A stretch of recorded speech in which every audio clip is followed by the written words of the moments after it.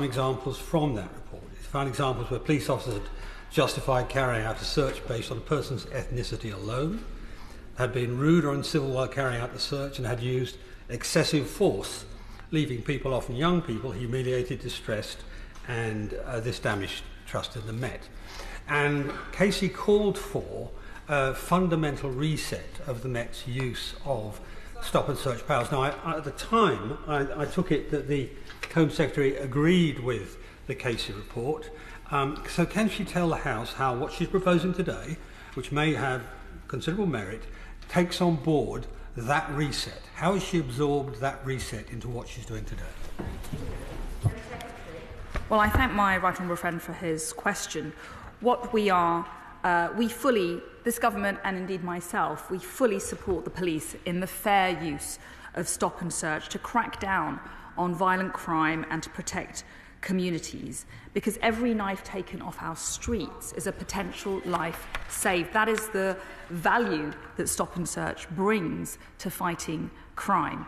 The announcement that I'm making today brings together a series of measures whereby there will be an obligation to include more reporting and a greater uh, increase on the data that's something that's been commented on on previous by previous inspectors and reports so that we have a clearer picture of its use and its efficacy. Uh, there'll be guidance uh, issued by the College of Policing, but already we have seen an improvement in accountability, an improvement in scrutiny, and as a result, a fall in the number of complaints.